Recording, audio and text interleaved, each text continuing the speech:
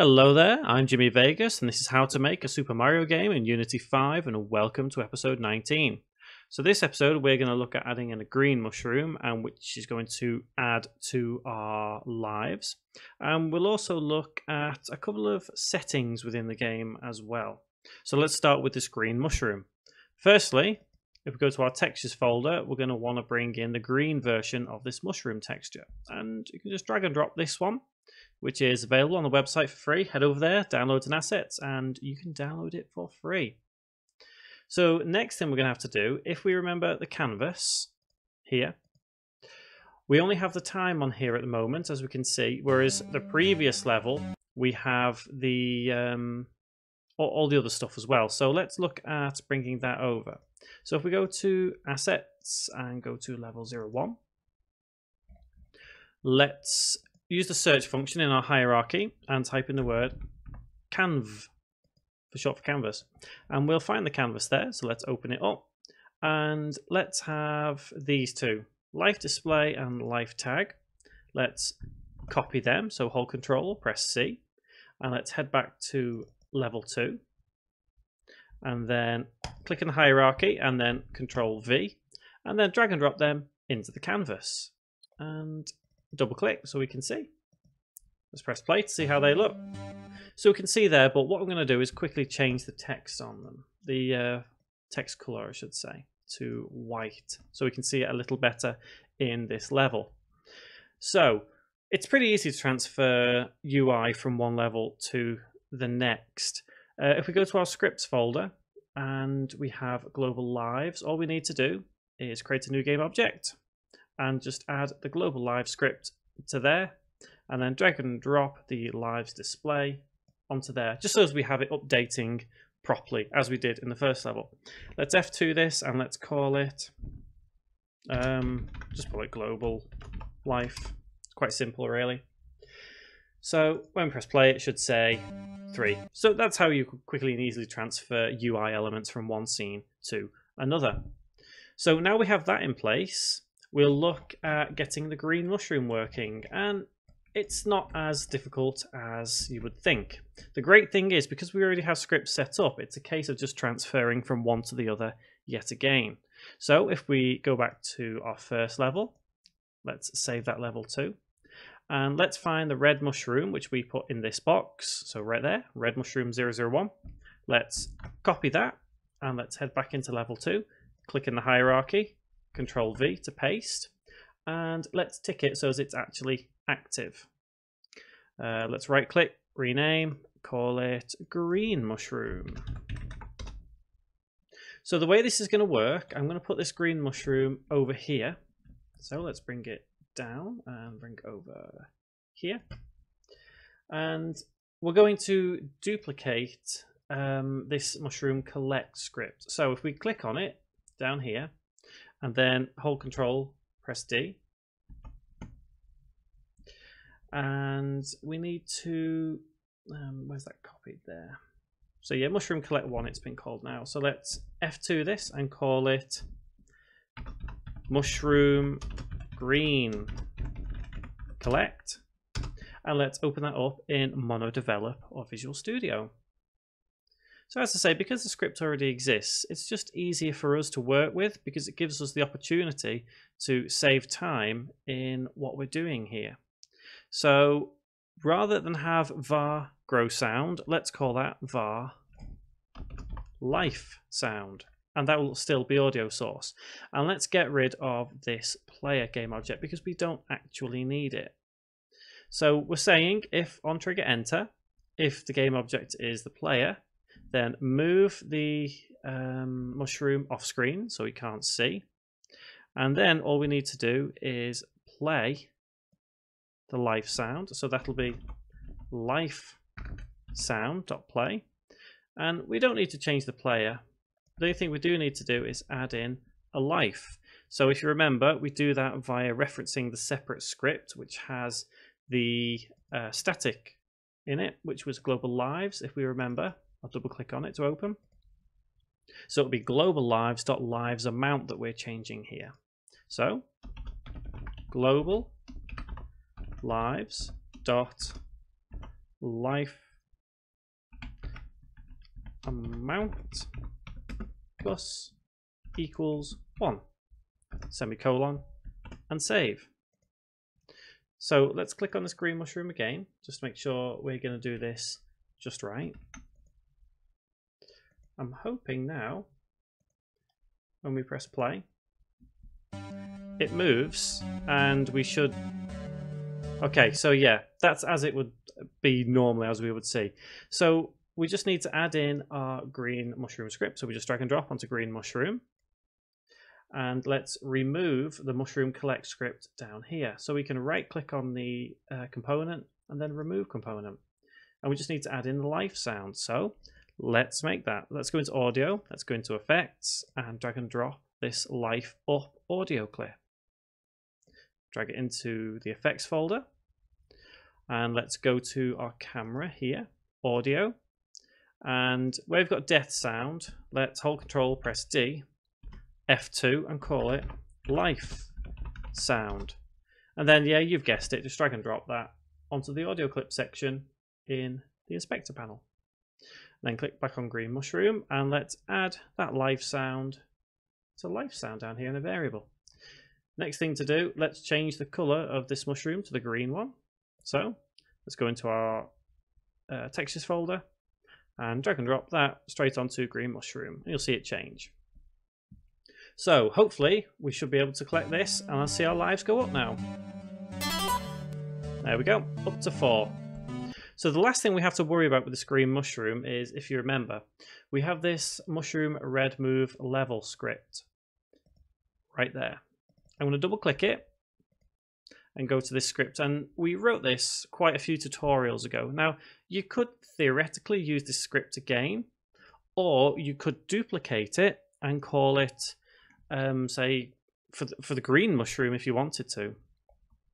If you didn't want to, you could keep it attached and you would just change the point of reference here in this section. So rather than change it within the script, so as it doesn't change everything else, every other mushroom in the game, change it directly with this section just here. So let's give that a go now. For an, uh, for an example, I should say, let's just have it move rapidly between this section right here. So as it doesn't actually hit anything apart from this wall, but it just moves back and forth. So let's change it from uh, what we're at the moment. So its position on the uh, X is currently minus 3.5. So if we say the left point is going to be minus 4, and the right point, let's have as here. So if we move it to there, so we don't want it moved any more than that, is minus 2. So if you remember, just a second ago, the green mushroom was coming all the way along here and we were able to pick it up. So now it's going to start going back and forth here because we've changed the values. There we go.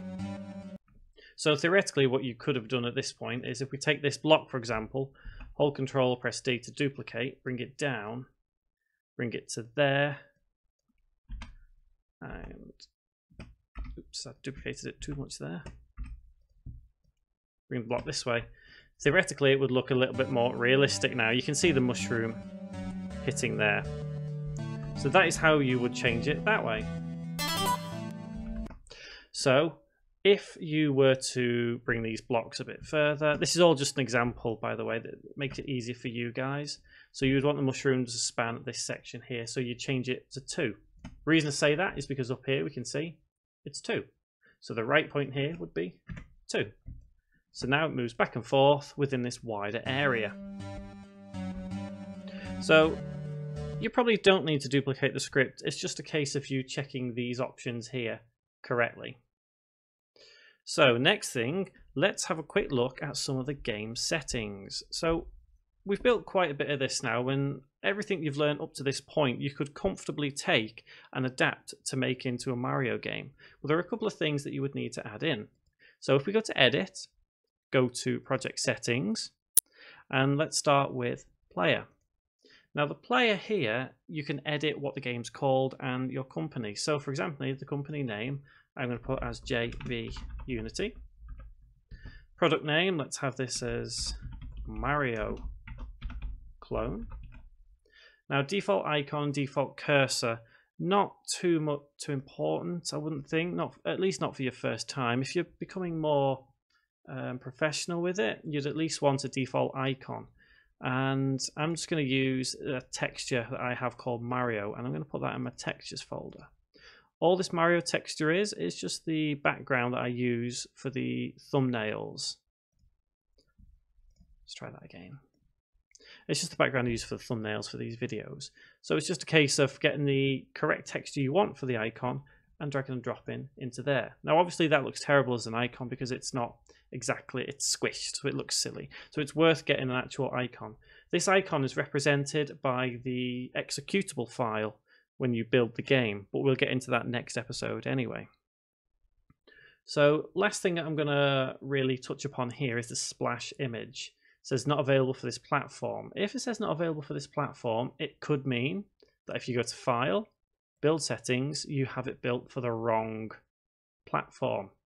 Now, this is where it gets a little bit interesting.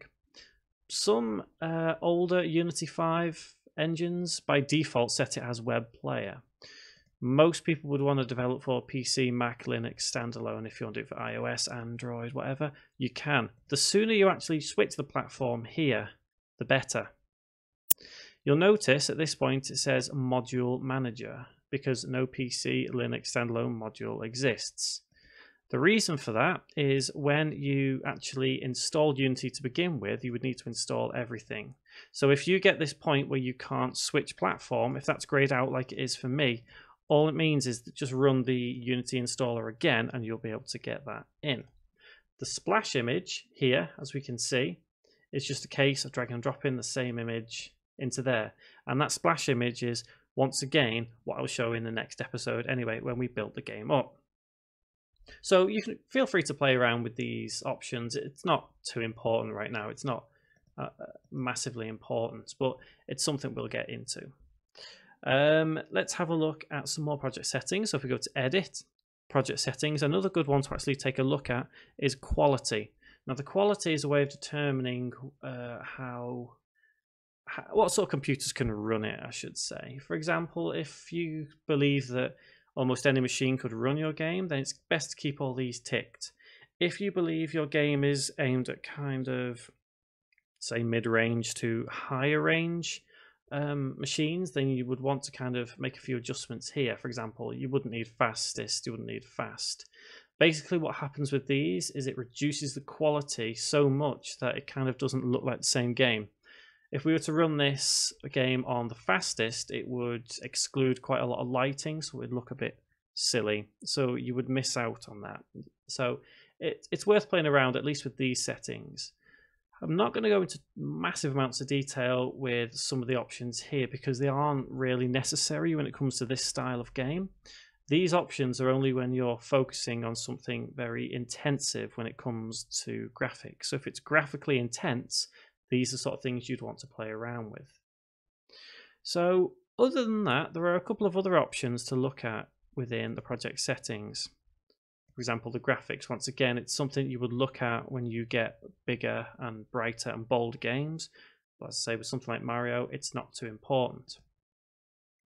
So there is a lot to play around with in the project settings, uh, but don't be too afraid to change things. Um, for example, if you went into time and accidentally changed the time scale to two and forgot about it, it's not massively uh, important this kind of thing is something that can be changed back. It's it's not that permanently going to damage whatever you have. So all I would recommend to you guys is have a look, play around with these settings and see what you think is best for your game. So the next episode is going to be the last one and we'll finish up a couple of things and build our game ready to play. I'll go over a couple of things as well in the next episode to kind of conclude things. But as I said earlier, this episode, everything you guys have learned up until this point you should be able to make a Mario game adapting each and everything into the enemies, into the mushrooms, into the coins, everything. So until that next episode when we finish up, guys, thank you very much for watching.